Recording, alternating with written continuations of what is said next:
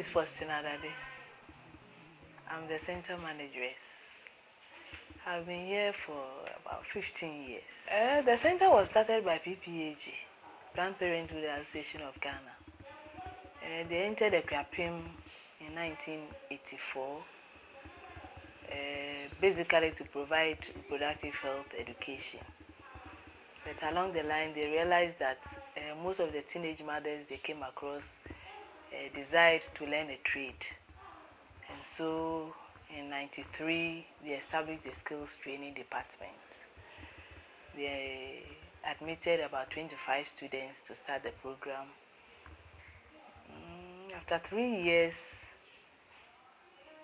I think only five were able to complete the course. So as time went on, they decided to look for collaborators because PPAG is not into skills training, so they didn't have enough funds for the skills training department. So in 2003, they collaborated with ICCES, Integrated Community Centers for Employable Skills, and the Ministry of Employment and Labor Relations. And so ICCES sent teachers to the center, and since then, I think the center has been run by ICCES. And then now Presby, when PPAG was living in 2007, they also handed over their part of the project to Presbyterian Church, Akuapem Presbytery, because they are the landlords of the area. So for now, the center is run by ICCES and Akuapem Presbytery. The center started with dressmaking, in 2000, we introduced catering, and then we've now introduced hairdressing and also secretarial department. But for now, the main areas that are operating are the dressmaking and then the catering department.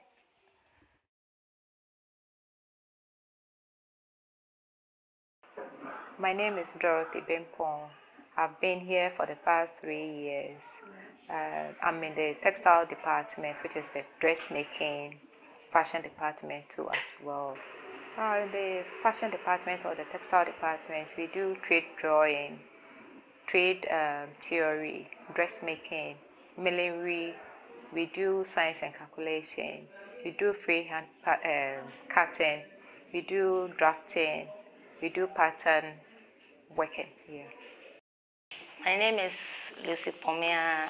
I'm in my third year. Now, some of the clothes I can design is um, chair bags, coffee sets, tablecloth, bedspread, etc.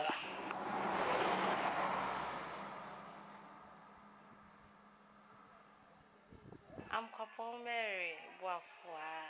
I've been here for seven years now. Yeah. All the time.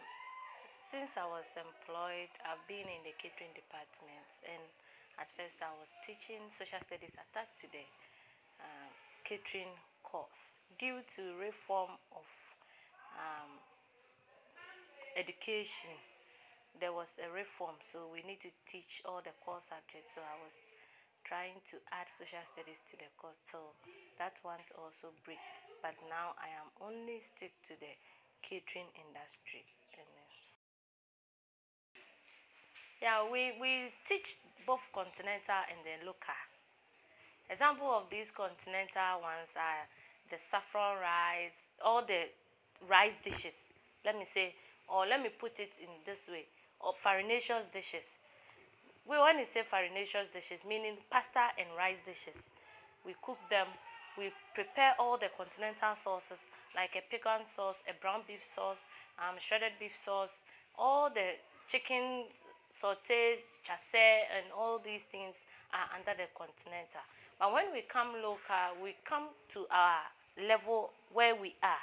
Some local dishes that we find them around. Though we have um, so many ways each of us cook, especially when we come to our local dishes. But when we come to the industry, we, we try to improve upon what we do at home My name is Janet Sewa and I'm my year. Well, I can prepare. First course is beef beef salad, and then the second course is bread roll, and then we also I can prepare beef jollof rice and salad, and also I can our last course that I can prepare is sweet. The sweet is um okay baked tarts.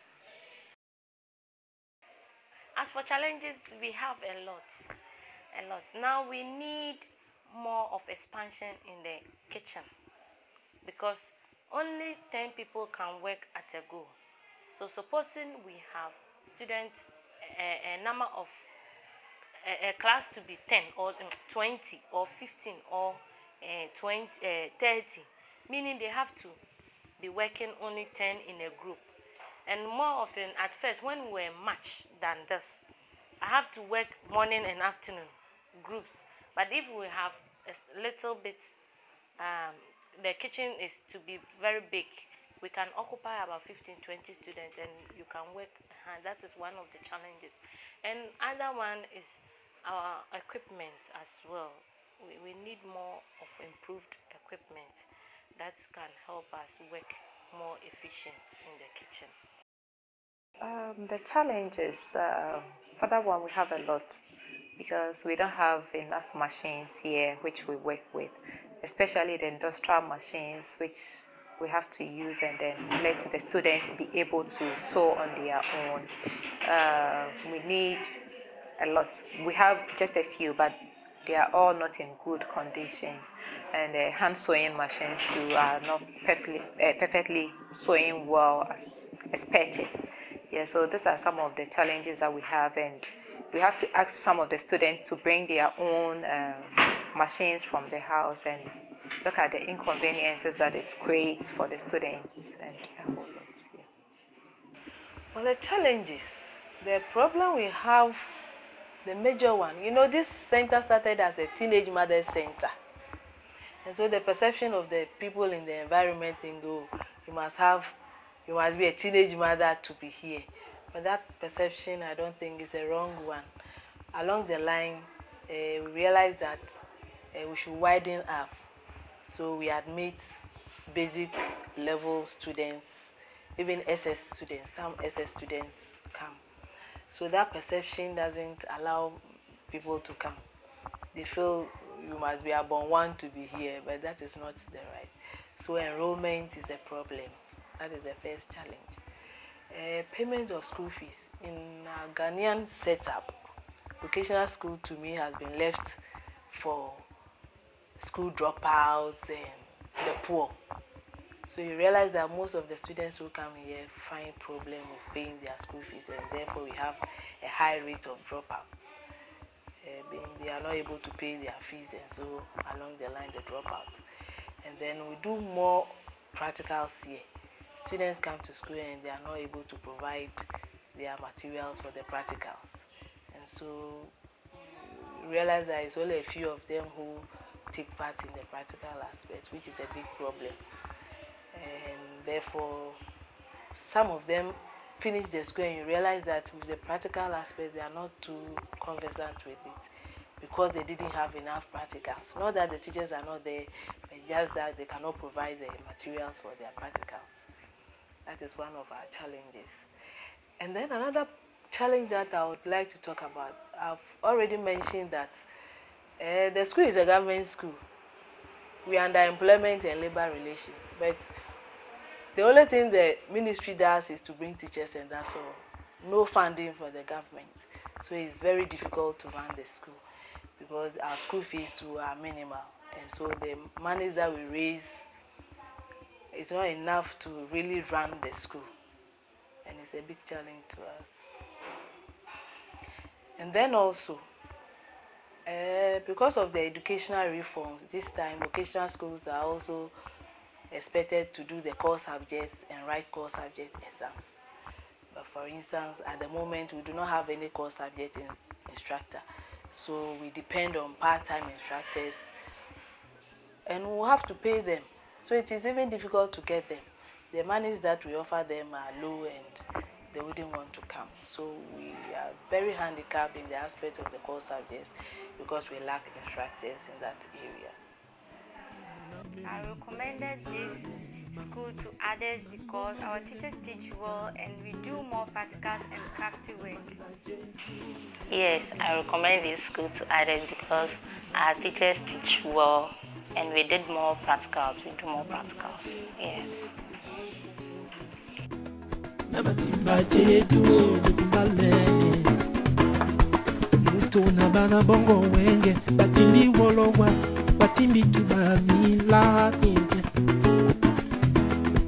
na wenge